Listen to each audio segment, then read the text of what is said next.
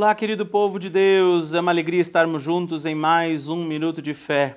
Eu sou o Padre Rodolfo Camarota e nesta terça-feira, 19 de setembro, o Evangelho que a Igreja nos apresenta é trazido por São Lucas, no capítulo 7, versículos de 11 a 17. No dia seguinte, dirigiu-se Jesus a uma cidade chamada Naim. Iam com ele diversos discípulos e muito povo. Ao chegar perto da porta da cidade, eis que levavam um defunto a ser sepultado, filho único de uma viúva, acompanhando-a muita gente da cidade.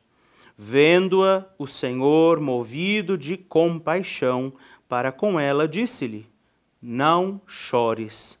E aproximando-se, tocou na esquife, e os que levavam pararam.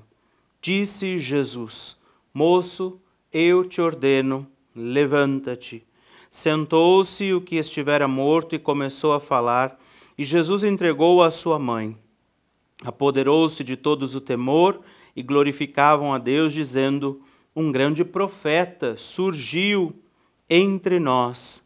Depois voltou os olhos para o seu povo.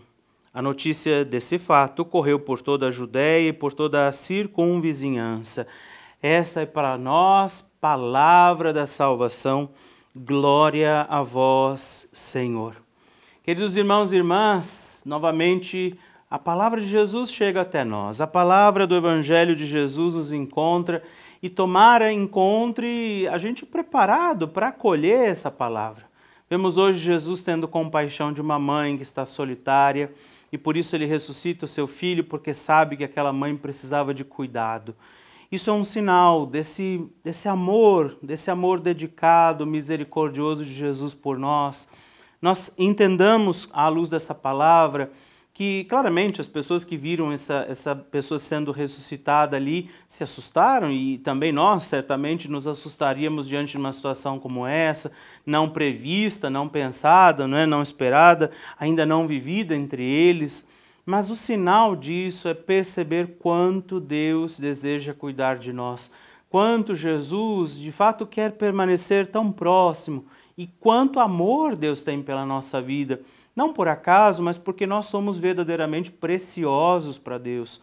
Somos muito queridos e por isso Jesus foi até a cruz e ali se ofereceu, foi até o fim. O desejo não era sofrimento, a morte, mas era entregar tudo, entregar-se por inteiro. Que nessa terça-feira, à luz da palavra, onde vemos ele tendo compaixão do sofrimento daquela mãe, rezemos, ofereçamos a Jesus as nossas dificuldades, também o nosso sofrimento, as nossas dores, e ele haverá de cuidar, de amparar, de vir ao nosso encontro, de nos ajudar, para que nós, como certamente aquela mãe se alegrou, diante dos sofrimentos vividos, possamos de novo encontrar condição de alegria também para nós. Que o Senhor Jesus, ele venha em socorro das nossas causas e necessidades e o Deus Todo-Poderoso nos abençoe também neste dia. Pai, Filho e Espírito Santo. Amém. Fique com Deus, fique na paz.